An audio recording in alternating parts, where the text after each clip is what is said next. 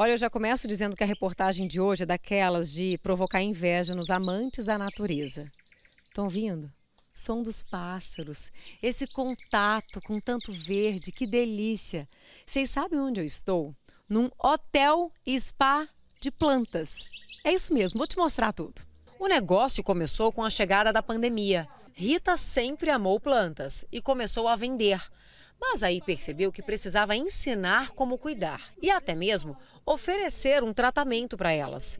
Descobri a necessidade de, de cuidado de, de, plantas que eu vendo, tanto que eu dou assessoria por 30 dias para as plantas que eu vendo. E vi a necessidade de cuidar da planta de quem viaja, de quem a planta está machucada. Então aqui eu restauro e hospedo a planta aqui.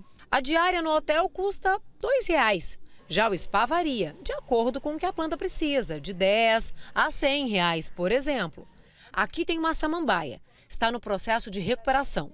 Chegou toda seca, já está brotando folhas saudáveis. No fundo tem mais pacientes doentes. Logo que melhorarem, vão para frente e depois recebem alta. Essas outras plantas são hóspedes, vão ficar enquanto o dono viaja. Georgiana é uma das clientes do hotel.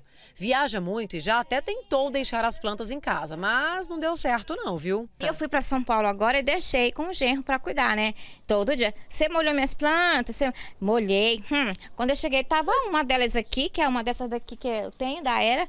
Tá lá, bichinha, tá tentando fazer ela reviver novamente. Não sei se eu vou conseguir, não. Agora, elas só ficam no hotel. Tem que trazer pro hotel das plantas aqui, o hotel, do, direitinho do meu quintal. E o tratamento aqui é VIP, viu? Rita tem verdadeira paixão pelo verde. Inclusive, ela dá uma dica para você que não consegue trazer as plantas e precisa viajar. Você pode pegar uma garrafa PET, você coloca água nela, fura a tampa, coloca esse cotonete com o lado sem o algodão para dentro da garrafa, fecha a garrafa, coloca na planta a garrafa em pé com o algodão para baixo. O que acontece? A água vai saindo devagar.